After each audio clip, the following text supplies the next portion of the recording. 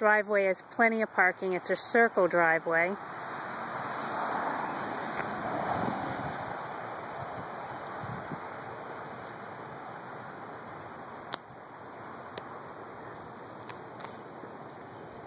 Big two-car garage. Newer roof. There is a little bit of exterior rot here and there.